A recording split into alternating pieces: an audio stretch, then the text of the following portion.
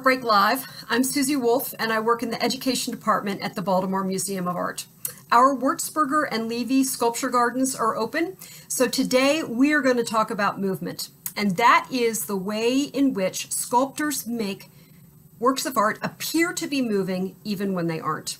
And we'll also look at one work of art that actually moves, but so slowly that it's difficult to tell.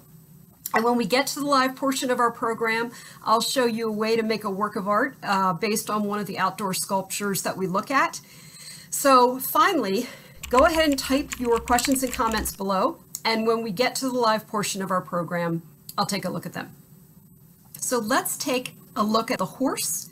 And it was made by Raymond Duchamp Villon in 1966. So what I'd love to do first is to look at it from all sides as if we were in the sculpture garden and to see what reminds you of a horse. So take a look.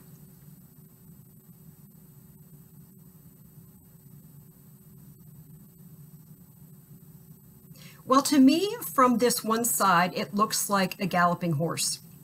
And this is a movie from 1878 um, by an artist named Edward Muybridge that shows a horse racing.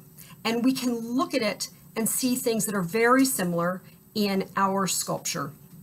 Do you see that that back leg looks as if it's on a diagonal, as if it's pushing off, and the front leg is on a diagonal like this. So it makes it look as if it's galloping and take a look at the size of that muscle in the front leg. It really makes it look like this horse is galloping hard. And let's talk about those lines. Diagonals uh, make us think of movement. When we think of horizontal lines, we often think of somebody who's asleep in a bed and not moving, and vertical lines as somebody who is standing up and not moving. But when we see diagonal lines, they tend to make us think that something is moving. From the other side, you may think that it looks like the horse is maybe jumping, getting ready to jump over something. It has its hind legs pushing off and its front legs curled like this. And from one more angle, we see what looks like a hoof on the ground. So this actually, as it is abstract, picks up a lot of movement from horses, doesn't it, with these diagonal lines? And that is because the artist was an equestrian himself, a very accomplished uh, rider, and would have seen horses in these movements throughout his life. And now on to our last work of art called Construction 140 by Jose Ruiz de Rivera, and it was made in 1974. And the artist loved to explore taking up the most amount of space with the smallest amount of metal. So let's see how he does that. If we stand in just one place, stand in front of it, and watch it move, we'll see that every four minutes, it completely makes a turn.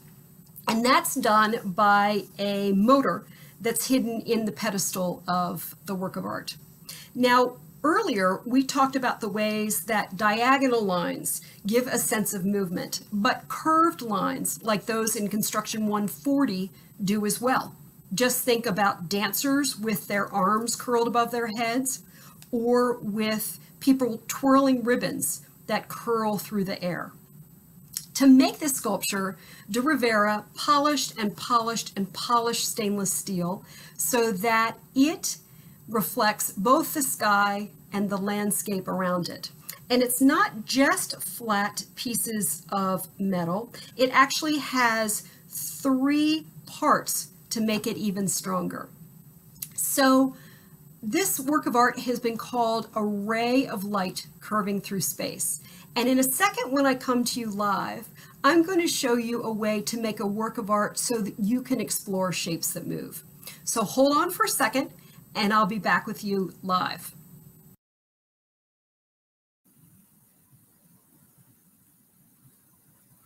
Hey everyone, thank you for joining me today. I hope you liked um, our little uh, look around of the sculpture garden. Uh, someone asked if the sculpture garden has reopened, and in fact, it has. Um, you are welcome to come anytime that you want to um, to see it uh, when uh, the when the sculpture gardens are open, and that is from Tuesday to Sunday, um, from 10 until 5. So you you need to bring your mask um, and practice social distancing, but we'd love to see you. And it's so exciting to be um, to be back in the museum. There's a special thing actually going on in uh, the sculpture gardens through September 30th. So if you can come between now and September 30th, and that is Gertrude's Restaurant has a food cart in the sculpture gardens, and they are serving um, um, snow cones as well as five different kinds of gourmet hot dogs. And I had one, and they're fabulous. So please come. The other great news is that yesterday um, we reopened um, some of the galleries in the museum to the public. So we'd love to see you back at the museum. And to do that, um, just go to our website, um, artbma.org, and you can reserve um, free passes uh, to see the galleries. I think that's the that's all the information I have for you on the sculpture gardens right now and the um, and the museum itself. But it's so exciting to uh, to have everything open again. Okay, so we looked at construction 140. Um, and uh, I wanted to show you a way that you and children can um, make a work of art together that is inspired by Construction 140. And that is that if you take a piece of paper like this and, ooh, I'm getting glare, and um, draw a spiral on it. So um, this is heavy construction paper. You could use regular construction paper, whatever paper you have, draw a spiral on it, and then cut out the spiral. And if you do, you can hang it like this, and it moves very much like Construction 140. Um, and you can put a hole in it, tie it with some string, maybe hang it on your ceiling with some tape. We're, we're a family that puts tape on ceilings. But also, um, there is a great way to do it as well, and that is by putting um, two um, hangers together. You can make a stand for it that will hang as well. And for more information on how to do that, if you go to our website and check out our activities for families, it'll walk you through this whole process. So let me see if there are any questions. Sarah, I know you're excited to visit in per person. It is gorgeous. And especially um, the gardens, if you haven't visited, are um, have gorgeous trees in them and well as seasonal plantings that um, are meant to um, just give a lovely sort of backdrop for the sculptures. So with the leaves changing, it's a perfect time to come. All right. We'll wait one more minute to see if there's anything else that, um, that anyone has to say. Um, I will say that Art Break Live now is going to be coming to you once a month.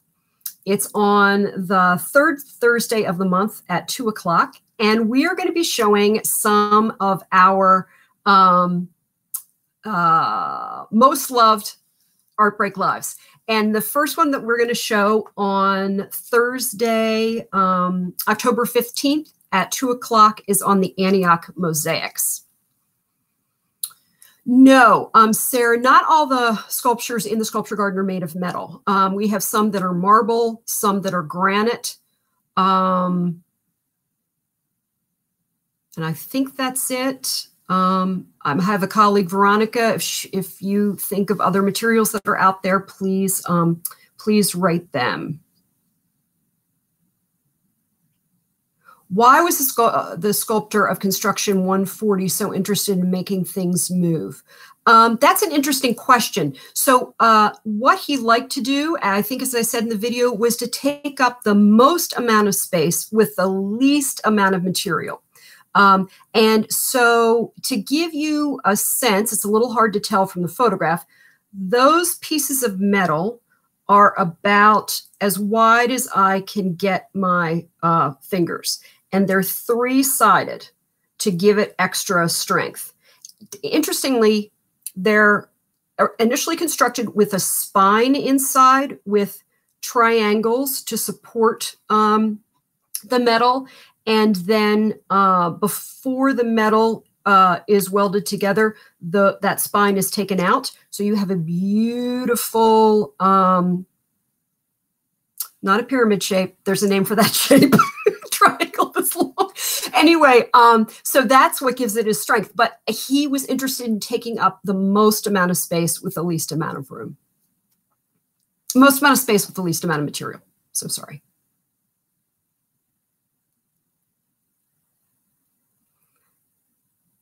We'll give you one more second to look at construction uh, 140. Um, I was out there in the sculpture garden um, last week, just um, looking at it again, and you can hear the uh, motor. If you stand close to the, the base, which is black, uh, black stone base, um, you can hear the motor inside, and it just curves so slowly you can barely see it. But if you make your own sculptures, um, they'll move at home. Oh, good question, Veronica. How does the BMA take care of the sculptures outside? That's a really good question. So some of our uh, yearly, um, the uh, the works of art are cleaned by our conservation team, um, and some conservation um, people focus on painting or textiles. We have some in our conservation department that just focus on sculpture. And so um, once a year, uh, in the case of our metal sculptures, um, they will be uh, gently cleaned and then often covered with a very light wax that does not affect the, um, the surface of the sculpture at all um, but just acts as a barrier to keep environmental um, issues from affecting or from pitting the metal. And here is the horse. I love the fact that from one side, from this side here, it looks like it's galloping. And then from that other side, it absolutely looks like, at least to me, it absolutely looks like um, a there that it is the horse that is jumping over something and his head is down. Isn't that interesting how um, an artist can take abstract, uh, put an abstract sculpture together? Um, and just so you understand that term, when an artist makes something abstract, he or she is not interested in um, copying the real world. So often, if something's abstract, they are trying to get a feeling of something. Um, and th in this case, you get the power of the horse and its ability to run and its ability to jump as well. So thank you very much for joining me. I look forward to seeing you on October 15th. Now, the third um, Thursdays of the month at 2 o'clock, and I'll see you back so we can talk about Antioch mosaics. Thank you.